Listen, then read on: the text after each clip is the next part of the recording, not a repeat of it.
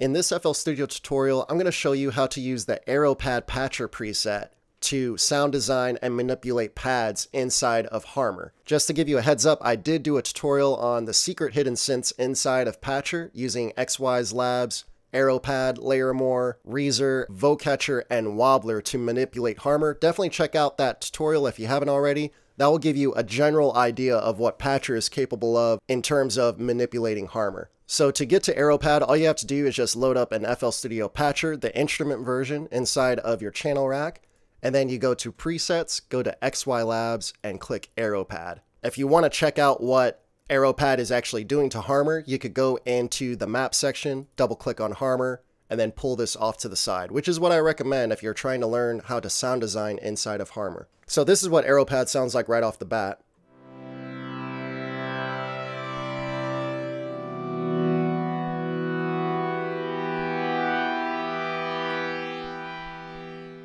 Really chill, really mellow. It sounds like a pad. So, so the first thing that we're gonna do, we're gonna take a look at this XY pad. This is gonna control your cutoff frequency and your resonance. So this is basically shaping the tone, the overall tone of your AeroPad. We can go darker, we can go brighter.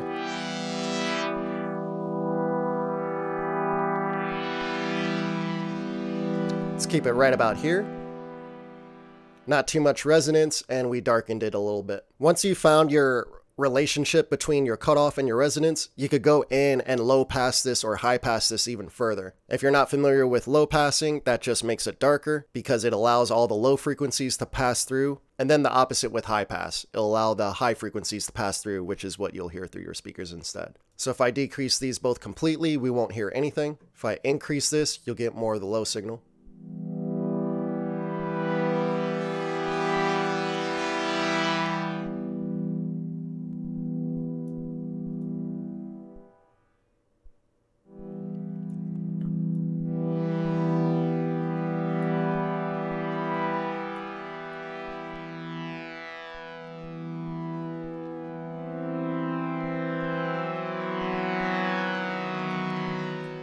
Like it right about there. I don't want too many sub frequencies, so I definitely want to use that high pass. This pre-effect slider is controlling the volume going into your effects. So your distortion, your chorus, your delay, and reverb.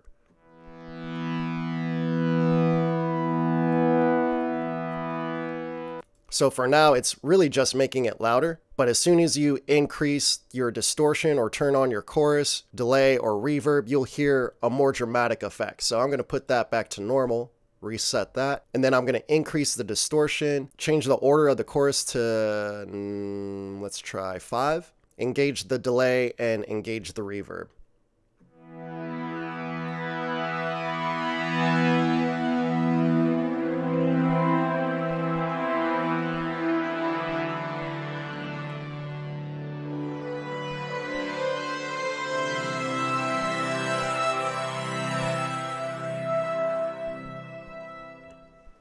So now here's the fun part, these knobs. This is really going to dramatically change the sound here. So we have tremolo, which is trem right here.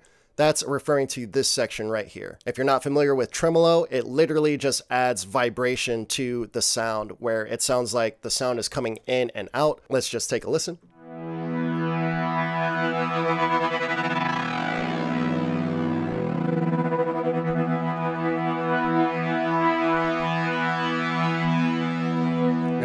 Right there.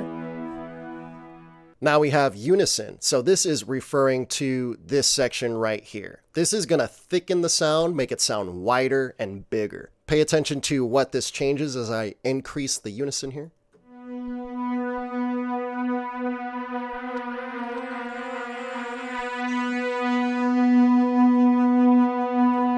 Hear how it almost becomes mono as I turn this all the way down, and then if I increase it all the way, it gets a little too crazy. So there's always going to be that in between, which is what you're looking for.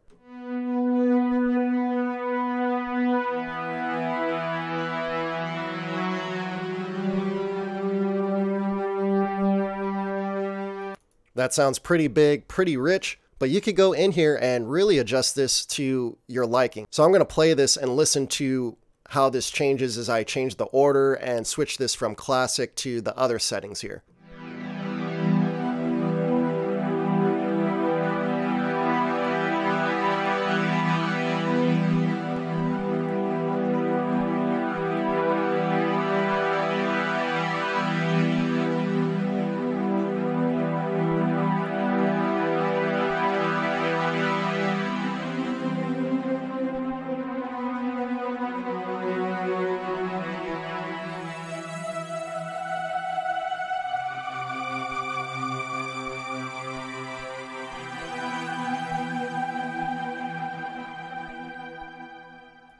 I think you could see already that it's ridiculously easy to get really massive and really high quality sounds using the presets inside of Patcher to adjust Harmor here, especially when you go in and further adjust Harmor once you get an idea of what the preset is adjusting. Back to AeroPad, we do have an attack and release setting, so you don't have to use this as a pad. You could actually use this as a lead. Just increase, just decrease the attack, and now you have a nice little pluck at the beginning.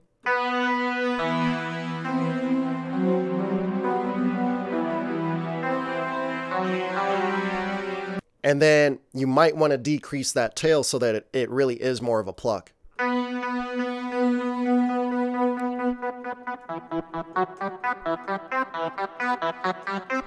That'd be perfect to arpeggiate. Let's give a little tail here, and then it'll sound more like keys.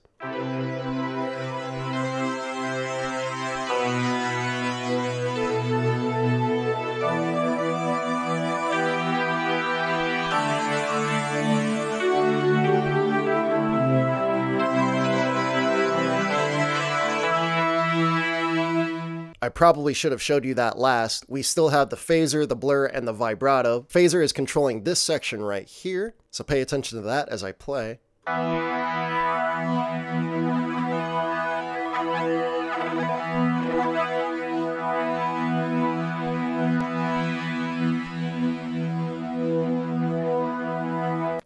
You can hear it's adding a little extra movement around the frequencies there. And then once again, you could go in and adjust the phaser itself.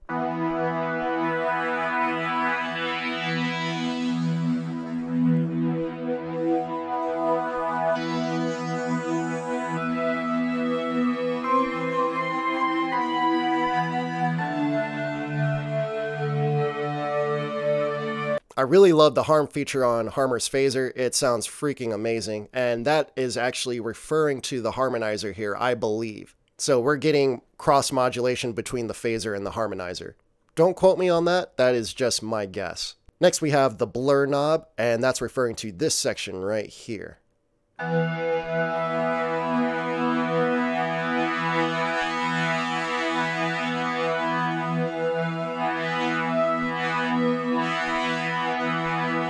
And all the blur is changing is the amount of harmonic blur that we're getting. So again, I believe this is referring to the harmonizer. So once you dial in your different settings here, I would recommend going into the harmonizer and switching this up a bit because it will adjust your phaser and your blur reactions too.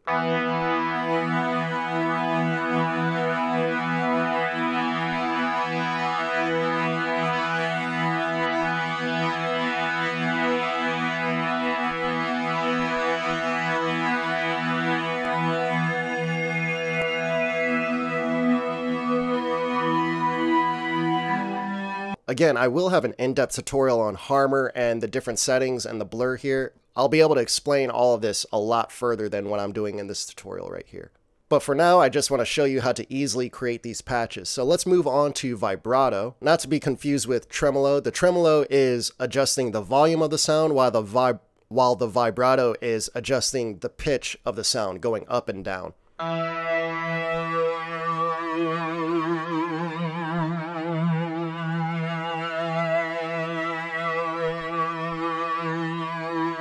Actually sounds pretty good right about there. And then you have SG right here, which I'm not entirely sure what SG stands for. I've made up some words in my head, maybe like sound gain or source gain or something like that. But either way, this is increasing the amount of compression.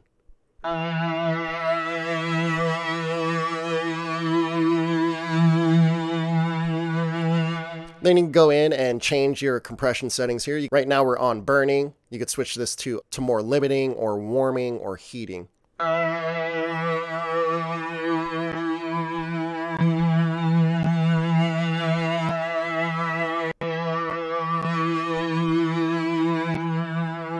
Actually like how it sounds with warming. And then you have a little bit of multi-band compression here where you can control the amount of compression on the lows, the mids, or the highs.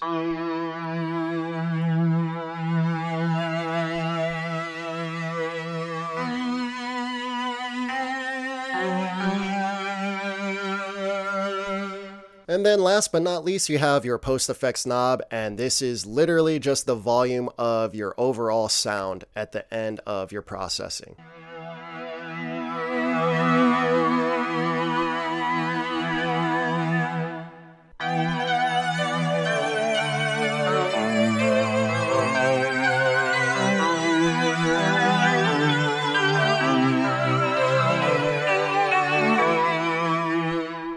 One last tip after you dial in your settings, feel free to move the XY pad around a little bit.